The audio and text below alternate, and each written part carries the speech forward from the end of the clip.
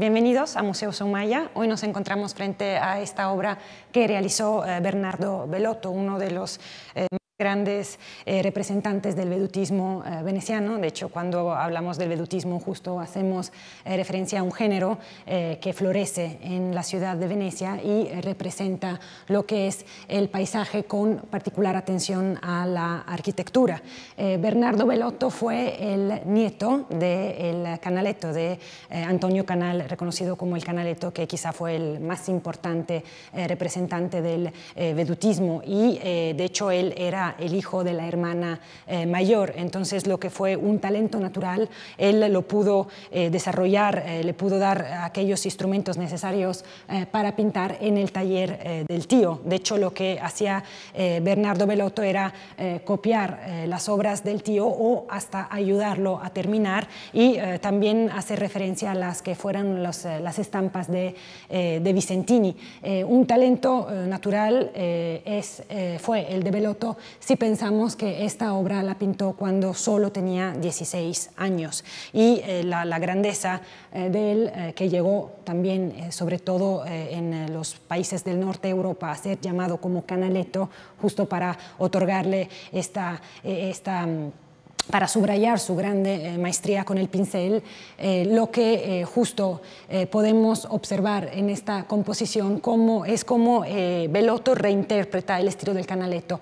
Y esto lo vemos sobre todo por la luz. Bellotto elige y privilegia una luz más invernal con respecto a lo que es el sol tan fuerte de las obras del Canaletto y también cierta marcada línea negra que justo es característica de la obra del Bellotto como estos eh, mm, estas manchitas de blanco para representar lo que es el, agua, también las líneas diagonales eh, con la que eh, da estas pinceladas para representar al, al cielo.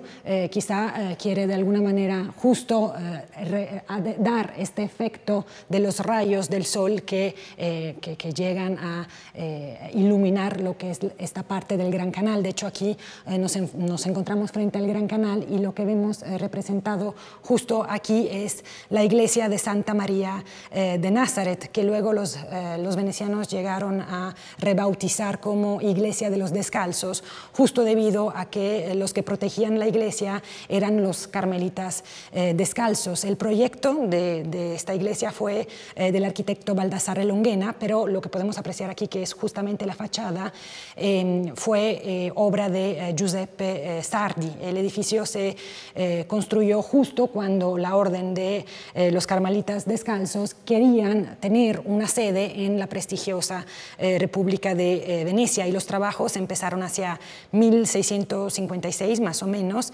y llegaron hasta a mitad del siglo siguiente. La fachada, la que podemos ver aquí, fue, se remonta a 1672 y terminó de ser realizada en 1680 gracias a la donación del conde Girolamo Cavazza. Hecho, lo que podemos ver aquí son la, es alta 26 metros y ancha 25.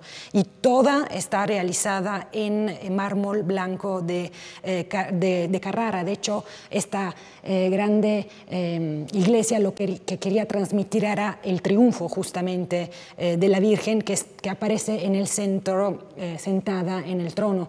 Y aquí justo en la parte superior podemos apreciar a cinco esculturas. La que vemos aquí en el medio es justo el Cristo bendiciente, a su derecha está eh, Caín acostado, del otro lado está Adán acostado y en, las partes eh, laterales están por un lado Eva y justo por el otro Adán, eh, Eva tiene dos manzanas en, en la mano. la iglesia fue consagrada en 1705 cuando aún no estaba terminada. De hecho, en el interior, cuando la iglesia fue consagrada, todavía no estaba el grandísimo fresco de, de Tiepolo, que eh, desafortunadamente eh, fue eh, destruido a causa de una bomba austríaca. Los restos de este grande fresco hoy se encuentran en la Galería de la Academia y ahí se pueden apreciar. Hoy aquí está un puente, que es justo el puente de los descalzos, que fue construido después, por eso que no se puede apreciar en esta obra, y la iglesia se encuentra cerca de la estación de tren Santa Lucía, en el barrio de eh, Canareggio, de hecho más que barrio era un sestiere. Hay que acordarnos que Venecia está dividida en sestieri, no en eh, barrios que justo como lo dice el nombre eran seis. Y lo interesante es que los números cívicos de los edificios no eh, iban en orden por calles, sino por entero sestiere. Entonces llegaban a tener números muy altos y justo esta obra del Belotto fue una de las últimas que realizó de Venecia porque eh, hacia 1747 él se fue a Dresda, empezó a trabajar para las cortes del norte de Europa y ya nunca regresó en Venecia.